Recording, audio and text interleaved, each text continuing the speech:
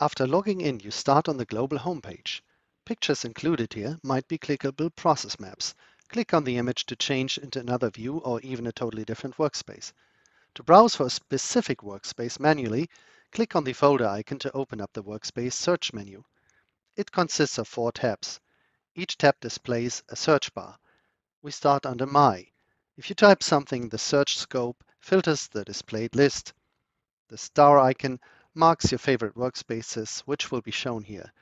It also lists the current workspace you're in. Under Browse, you can go through the workspace structure and navigate through its hierarchy. Using the left and right arrows, you can go up or down in the hierarchy.